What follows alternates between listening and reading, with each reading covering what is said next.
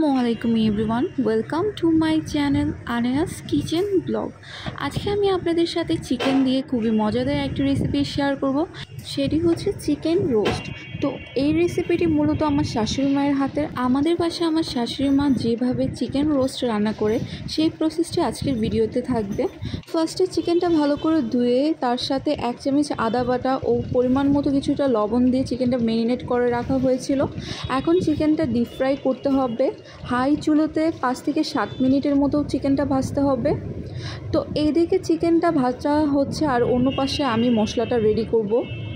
তো এখানে আমি দুই টেবিল চামচ আদা বাটা, দুই টেবিল চামচ রসুন বাটা, দুই টেবিল চামচের মতো পেঁয়াজ বাটা ও দুই চামচ মরিচের গুঁড়ো ও স্বাদ মতো কিছুটা লবণ দিয়ে নিয়েছিলাম। তারপর এখানে আমার চিকেনগুলো ভাজা শেষ। এখানে অন্য পাশে একটি গ্লাসে আমি তিন চামচের মতো গুঁড়ো দুধ অ্যাড করেছি।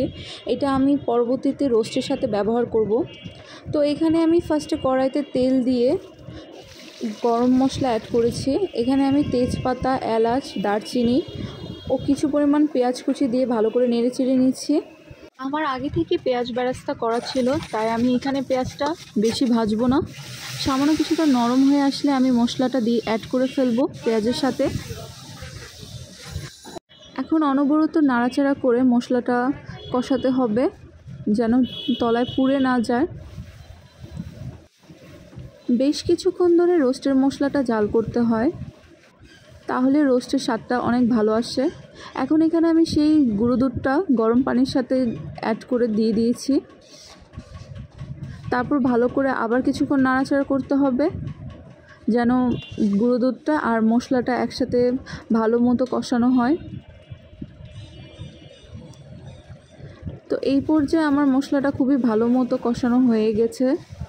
এখন এখানে আমি কিছু পরিমাণ টক দই ইউজ করব। আমি প্রায় এক কাপের মতো টক দই ইউজ করেছি।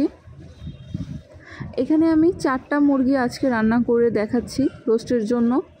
জন্য আমার মশলার পরিমাণটাও একটু বাড়িয়ে দিয়েছি। এখানে আপনারা চিকেনের পরিমাণটা কম বেশি অনুযায়ী মশলাটা ইউজ করবেন। তো এখন আমার মশলা ভাজা শেষ, আমি এখন এক এক করে চিকেনটা দিয়ে দিব।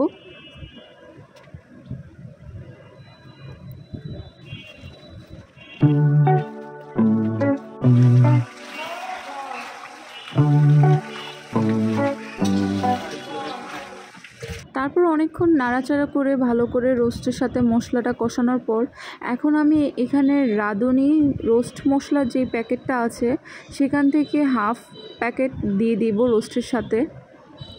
এখানে বাতাসের কারণে আমার মশলাটা একটু জমেছিল তো এখন আমি পুরোটা মশলা দিয়ে টমেটো সস অ্যাড করেছি এখানে এক কাপের মতো তারপর এখানে আমি চিকেনটা আবারও ভালো মতো নেড়ে চেড়ে রান্না করব। পর্যায়ে কিন্তু আমার চিকেনটা মোটামুটি অনেকটাই হয়ে এসেছে। আমি আর কিছুক্ষণ জাল করে চিকেনটা নামিয়ে ফেলব। তো এখন এই পর্যায়ে আমি চিকেনের সাথে পেঁয়াজ বেরেস্তা অ্যাড করব।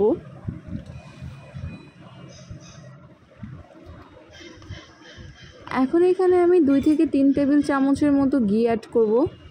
ঘি অ্যাড করে আমি কিছুক্ষণ ডেকে রেখেছিলাম, দুই তিন মিনিটের মতো। যেন ঘি থেকে যে স্মেলটা আসছে সেটা চিকেনের সাথে খুব ভালো মতো মিশে যায়। তারপর আবারও কিছুক্ষণ নেড়ে চেড়ে এখন আমি এখানে কাঁচামরিচ অ্যাড করব।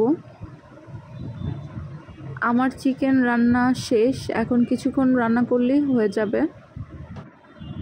এই তো, এখন আমি চিকেনটা আপনাদেরকে সার্ভিং ডিশে নামিয়ে দেখাচ্ছি।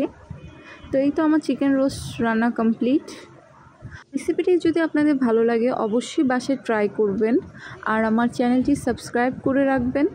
ধন্যবাদ সবাইকে এতক্ষণ আমার সাথে থাকার জন্য।